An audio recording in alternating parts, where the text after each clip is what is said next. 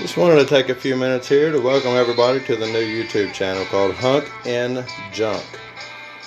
I've been doing this for several several years now, but I've mainly been focused on Facebook.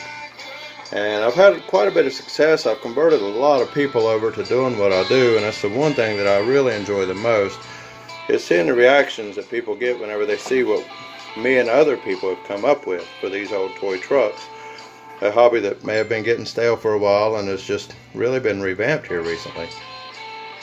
Um, but anyway, here's a few of my builds. These are some 57 Tonka pickup trucks.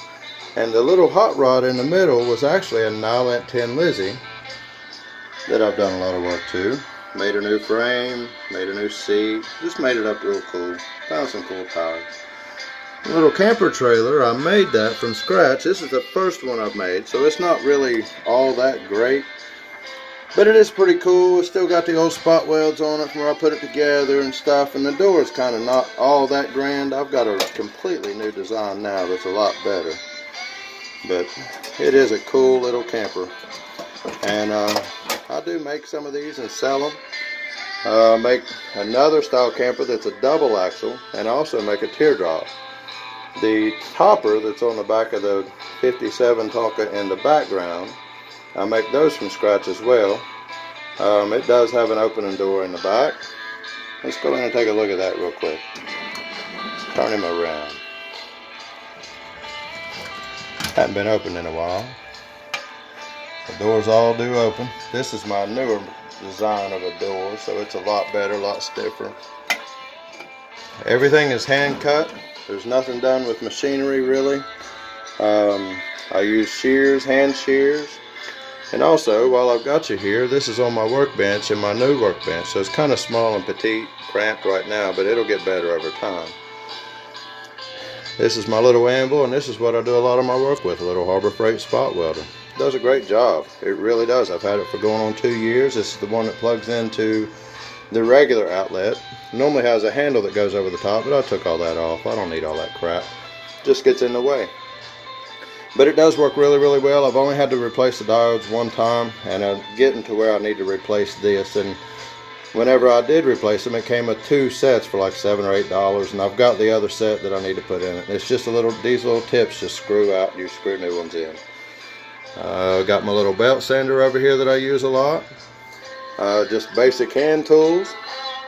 My favorite hand tool, however, and I'll be going over this in a video coming up soon. These are called Jilson shears, so keep an eye out for these.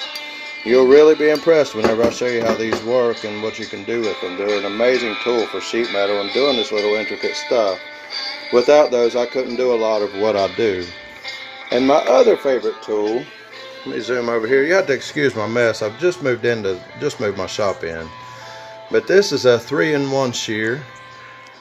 It's a 29 inch from Harbor Freight also, but I've had it for well over a year and I've had nothing but great, great uh, results from it. Down here you've got the shear. Whenever you raise it up, this part is the brake. And then you've got the roller up here. So these machines are outstanding. You can make all kinds of stuff with this, and this really opened up my world to a lot of new things. Um, and the only other tool I've got in here really is my little air compressor over here in the corner. It does get loud. And uh, my shipping table, and my tunes, and my cat. He's pretty cool. He likes to lay there and watch. My dog likes to lay in there on the couch and be lazy. My cat comes in here and likes to play with toys with me. But anyway, thank you guys for stopping by. And while you're here, there's an icon somewhere on this screen. Find it. And it'll say like and subscribe. If you like and subscribe and then press the little bell thingy, it'll let you know whenever I post a new video with some new cool truck. And also while you're at it, if you're a frequent member of Facebook and you like to go on there all the time, look me up on there. I'm Hunk in Junk. Uh, my name is Ronnie Fraley. I build some cool stuff and I post a lot of pictures and I encourage a lot of builders and a lot of group members to do the same thing. Uh, if this is something that you're interested in getting into, check me out on Facebook. Follow me on there. Follow me on here. I'll show you a lot of really cool stuff that I've had to learn the hard way.